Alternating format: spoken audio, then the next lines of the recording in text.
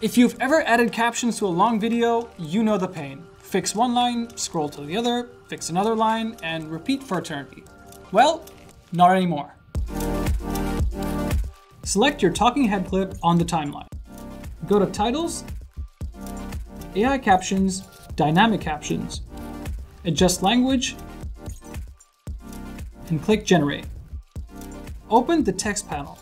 You will see all the generated captions listed here. Click an entry to edit wording, punctuation, or timing. You can even change the style. Head over to the Template tab. Apply a ready-made caption style instantly. You can change the basic settings like font, size, alignment, and color. To make batch changes, shift-click to select multiple caption clips. From here, you can adjust the font, size, position, and duration all at once.